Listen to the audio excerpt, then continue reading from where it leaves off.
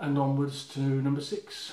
Um, I think this year, since we're talking about as well, or giving scores at least on the the labels.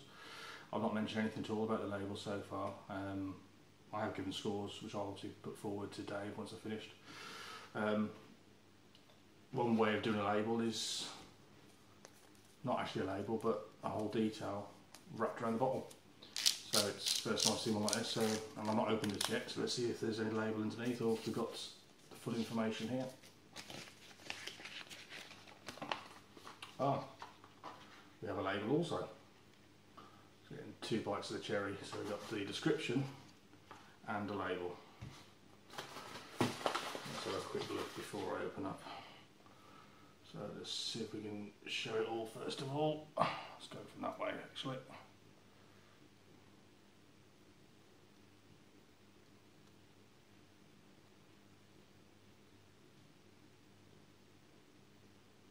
Okay, so what have we got on here then?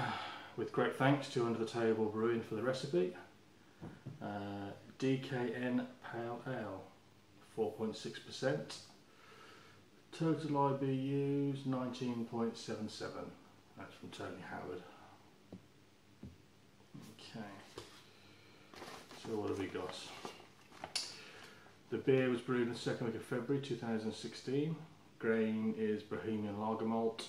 It's made from Czech barley and according to Tony has a cleaner, sweeter flavour than the German malt. Hops are hull melon, which I think is either Huell or Hull as in the German with the little dots above the U. Uh, and a unique but mellow fruit character makes it a good choice for styles where overpowering hop flavour may not be warranted. Aroma and flavour are mild to moderate with tons of summer melon, especially honeydew and some ripe strawberries on the bouquet. Uh, da, da, da. He used Safale US05 yeast. Due to not being 100% sure the lager used to give enough get him enough time to get the brew finished. Grain bill was 3.5 kilo of Bohemian lager malt, mashed at 68C for one hour, then sparged the grains at 76C. Ball was an hour and the hops went in at 40 minutes, 20 minutes and flame out. Also at 15 minutes added Irish, Irish moss to the boil and he ended with 15 litres of brew. So don't need to bother looking at the hops, he's given me the information straight away. Okay.